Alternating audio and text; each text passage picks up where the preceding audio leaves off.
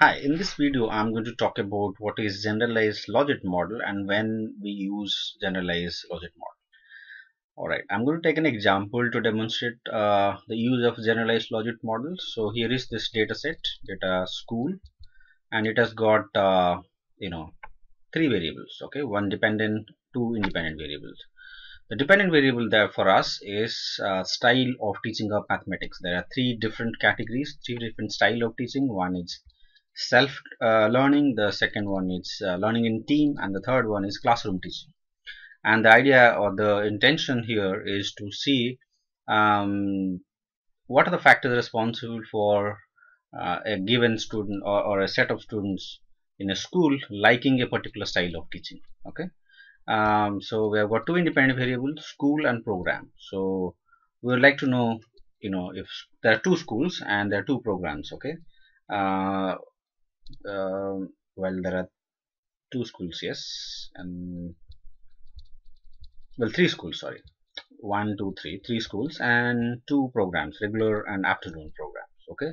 So like to know that uh, how they're related right? The style of teaching and the students in in a given school and the uh, the program. I mean there are two programs regular and afternoon program in a school and how you know the independent variables program and school are related to uh, the dependent variable style of teaching okay? So that's what the researcher is trying to see. We're going to use uh, generalized logit model in this. Why is so? So remember the logistic regression is used when we have a categorical uh, dependent variable. And the uh, normal logistic regression we use um, the you know the plain vanilla or the, the probably the simplest form of logistic regression when we have just two two values right? The dependent variable has just two values okay? Um, but here we have got three values and the values cannot be ordered. So they are it's a nominal categorical variable okay? Not an ordered categorical variable. So if they if they were ordered they, they we can order them then we need to use the ordered logistic regression but here the style of teaching cannot be ordered right? Uh, it's not like we can say okay this is better than the other one. So there's no way we can order them in ascending or in descending order. So these are nominal values which are uh, equally important and equally weighted. So we cannot simply uh, consider them as bigger one value uh, as bigger than the other. So the nominal values in such cases where we have nominal values in the dependent variable, nominal categorical variable by the way, we need to use generalized logit uh, model. Okay, the syntax in SAS is simple. We use the proc logistic regression uh, syntax, um, except that we in the link function that we use is glogit. Okay, so the link function is important and when you use glogit it actually uh, means that we are using generalized logit model. Other than that uh, we need to use the class statement here because both school and program are categorical in nature and we want to see uh, how uh, you know students from different programs in different school like the style of teaching the different style of teaching. So that's why we want separate regression equations for uh, each school and each program. One of them will be used as a reference. That's why the reference is first. That means the first values in this section will be as used as a reference. There are three schools so we'll have uh, equations for two schools in the results. And there are two programs so we'll have equations only for one program because one of them uh, will be used as a reference right? So we have the n categories. We'll have n minus 1 results right? Because one of them will be as a used as a reference. In the model statement, we have style, which is the dependent variable, and then school program as independent variable. We're also taking an interaction term school and program. We are trying to multiply them because, you know, just to see, you know, there is some sort of interaction between them. Uh, and we'll see if that comes out to be uh, significant or not. And then, uh, well, we'll run this uh, equation to see how the result looks like. Right so now we have the result.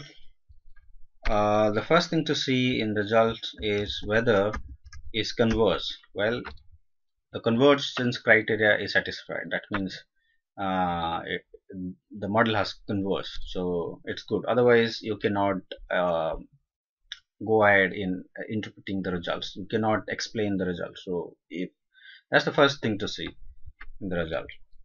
And then we'll see the test of global null hypothesis okay?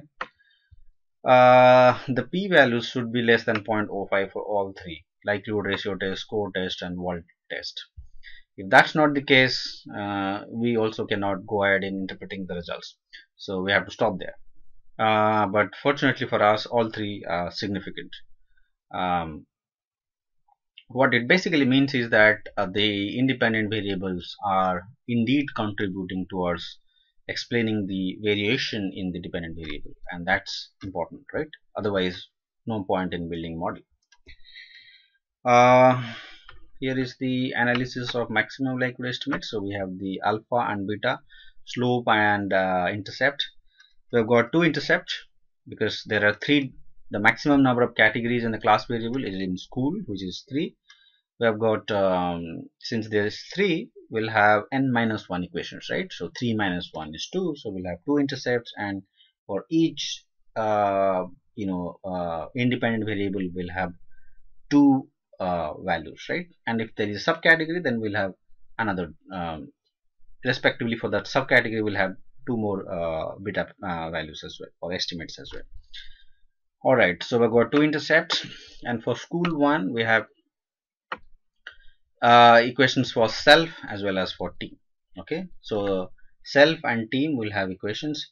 And then the third one is just a reference right? So uh, we can write it down. We can write the equations like we have three categories. So we'll have two equations uh, and the third one of course is just a reference. So it's self-explanatory. Uh, we can uh, you know once we have the two equations we don't need to know the third one because automatically we will be able to interpret the results for the third one. The interaction terms comes out to be insignificant. As you can see the p-values are well above 0.05 so they're uh, non-significant. So uh, insignificant we simply uh, need to remove them from the equations and re-estimate the regression equation uh, in proc logistic when you are doing uh, generalized logit you do not get c statistics concordance and so on. So you need to separately by yourself writing code uh, compute these values um, just to see you know what's the efficiency of the model. Uh, you can also uh, you know you can also uh, see the accuracy and using a conf confusion matrix and that's what is recommended. But here we're not going to do it because we just have 18 observations and with such a small sample uh, it's not possible. But if you have larger number sample then I highly recommend you to uh, build your model in training data and then test it in test data and uh, have a confusion matrix compute the accuracy test just to see whether the model is uh, uh, is okay or not uh, or the accuracy is good enough or not. Okay so we'll remove this uh, interaction term and re-estimate uh, and then we'll um, see how the results change. Well the result will slightly change because there is some level of correlation between these terms. So if you add extra terms the beta parameters tend to change a bit. So if something is insignificant just remove them and re-estimate okay. And now after re-estimating we'll have different set of results. Yeah. So different sets of results. Not all of them are significant. Some of them are insignificant. You see the p-values uh, for uh, school one for team and for school till self both are insignificant. So you know you simply cannot uh, you know interpret them. But otherwise other variables are more or less significant. Well this was also insignificant so um, yeah. So wherever we have significance we see that it does contribute uh, towards uh, choosing a particular style of teaching like okay?